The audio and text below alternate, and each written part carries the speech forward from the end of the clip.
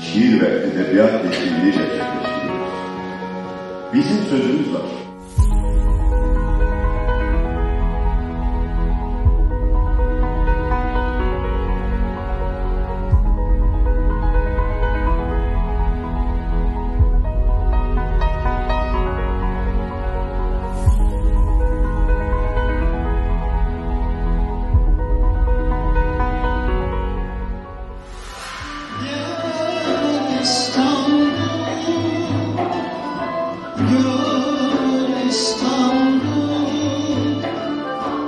Sevda duvarını açtım, sendeki bu tılsım neydi?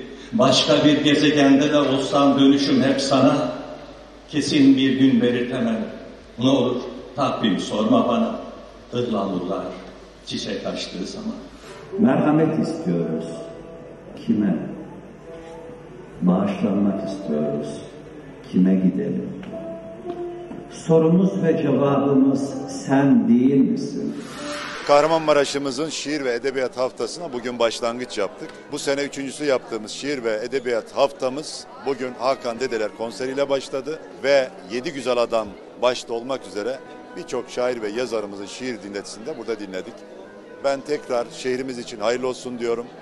Çünkü Yedi Güzel Adam'ın şehri Necip Fazıl, Nuri Pakdil abimiz, Sezai Karakoç, Abdurrahim Karakoç, Rasim abimiz, Cahit Zarifoğlu, Akif İnan'dan şiirler burada dinletisini dinledik. Şairlerimizin ve yazarlarımızın şiirlerinden örnekler okudular. Gerçekten hemşehrilerimizin ilgisi de çok güzeldi.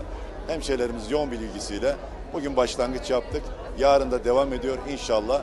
Pazar günü de şiir ve edebiyat ödüllerimizi takdimle inşallah sonuçlandıracağız diyorum. Tekrar emeğe geçen herkese teşekkür ediyorum.